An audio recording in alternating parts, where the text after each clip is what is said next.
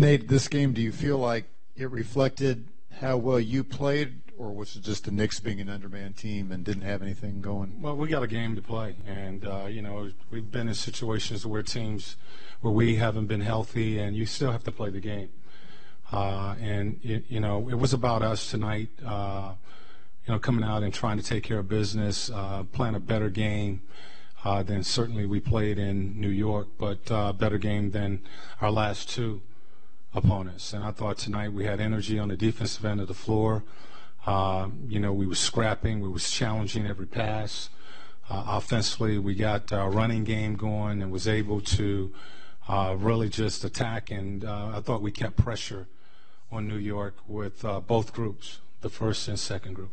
Balanced scoring, does that reflect good offense, ball movement? Yeah, no, no question about it. Uh, you know, we talk about that, and you know, sometimes uh, the ball starts sticking, and we, you know, are out there dribbling a little too much. But I thought tonight, uh, for the most part, we did a good job of uh, moving the ball, and uh, you know, you end up with 28 assists. Everybody gets involved that way. When guys are open, uh, we talk about giving up the ball, and tonight we did that. In games like this, is it hard for a coach to know when to start pulling starters and putting in bench people? It's got to be tempting when you're up 38, but at the same time, you've probably experienced some disasters too. So. Yeah, it is. Uh, we the, the, coaching staff and I was just talking about that. You know, um, you know, the, the, you're up, you know, 25, 30 with about seven, eight minutes to go, and you really don't want to go back with your starters, but you know, you have to, uh, you know, try to put that game away. And I thought our guys came in. Uh, TJ played a lot of minutes in that fourth quarter, so we wanted to give him a break uh, and just slowly started to get some of our guys out. But uh, yeah, it is. You know, the, the, bottom line is you have to win that game. And, um, you know, sometimes I've seen coaches go back with their first group, uh, you know, to work on some things. And, uh, you we was able to uh, put our guys in and let Lance and – Cory and uh, Domas uh, really play that entire fourth quarter. Nate, talk to us about the energy that Lance plays with. Uh, he seems to get the crowd going, and he feeds off of that. But he did very well tonight in just keeping the energy uh, going at the Knicks. Talk to us about that. Well, you know, there's there's a fine line there, you know, uh, in respecting the game, and uh, we want we always want to respect the game and how we play it. I want guys to have fun, uh, but you know, showboating and and those types of things. Uh, respect the game, play the game the right way, uh, and you know we'll be okay with that. You know, he's a very emotional player, and when you know he gets going, uh, he does some good things uh, for us, and he made a couple good plays. Um, you know, for us, but you know, you know, we've talked about that as a, as a team uh, we play the game the right way, and uh, we show respect to that game while we're out there. Nate, you mentioned the assists. You had 28 assists on 40 field goals at 70% ratio. Every one of your wins this year, you've been over 50% assist to field goals. It's kind of basketball 101. But do you have a ratio you want to see this team hit? Do you have a certain amount of assists you want to see this team hit on a game? Yeah, our goal is 25 or more assists. You know, that's what we talked about uh, the beginning of the season.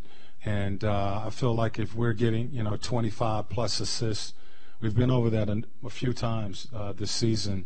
Uh, it's going it's hard to defend that that type of ball movement. And um, you know, when when guys are open, as I've you know said and we've talked about, if a guy's open and you're running the play, he's open 100 times, you pass the ball 100 times.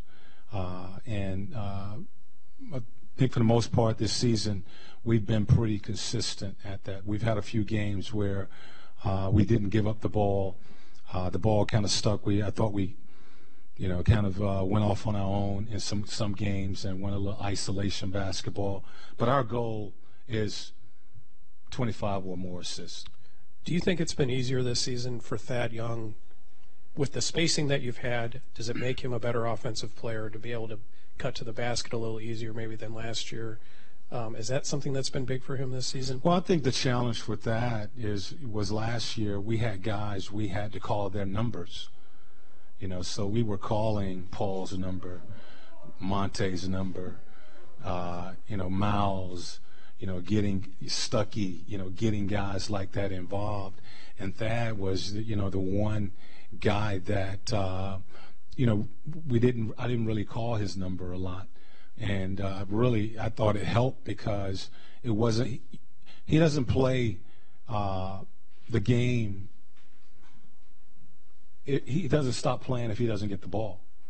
You know, he plays off of guys, he plays off of uh, players, and uh, that's what he's doing right now. But w- because of all the ball movement that we have and the spacing in our offense, uh, he's getting more attempts, more opportunities uh, this year. But you know, he he pretty much played uh, last playing this season like he did last year. Plays off the ball. We don't call a lot of plays. He just randomly gets and finds himself in the right uh, place, and uh, he's been doing good things with it.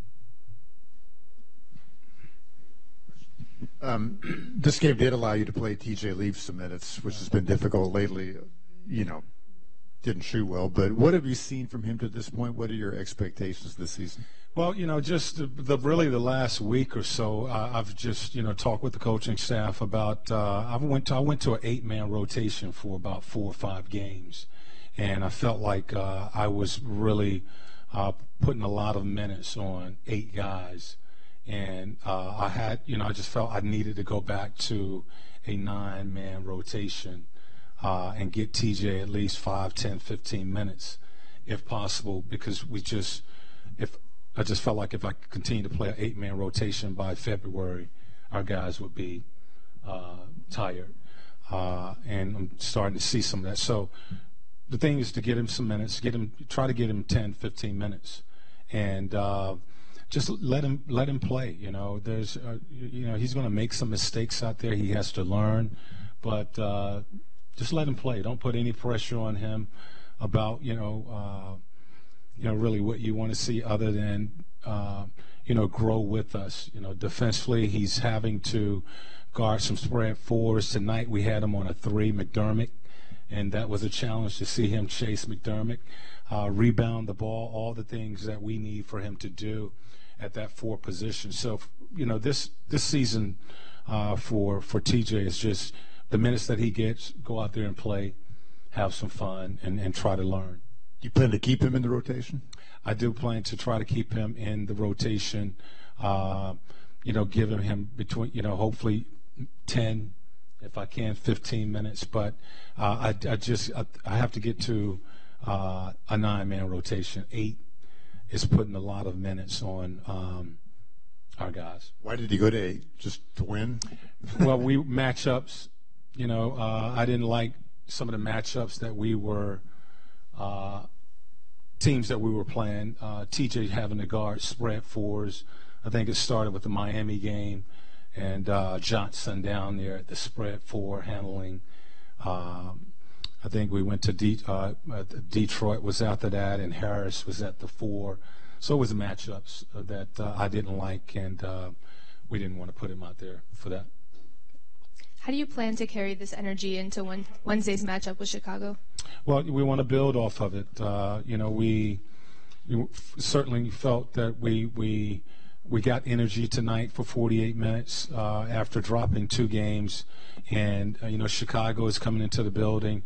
They are part of this uh, six game homestand, and uh, we want to carry over uh, this energy to that game. You know, we, we can't be and we won't be focusing on a team's record. You know, just like tonight, we can't uh, focus on who they didn't have. We got to play the game, play the game the right way, and uh, you know try to take advantage of this home stretch of games the team came out with a high intensity in the first quarter. Is the first quarter something uh, you guys are kind of looking at to make sure you guys come out and take that lead? Well, we want we we you know I put on the board every game establish tempo and establish the Pacers tempo. Uh, so there's a there's a certain uh, aggressiveness, uh, speed that we want to come out with, and uh, really it starts on the defensive end of the floor, getting stops rebounding the ball so that we can get out and establish the tempo we want to play at. So, yes, it's very important um, the start of the game that we establish the tempo uh, that we want to play at. Uh, Coach, when Miles Turner wasn't in the game, the Knicks saw more success in the post.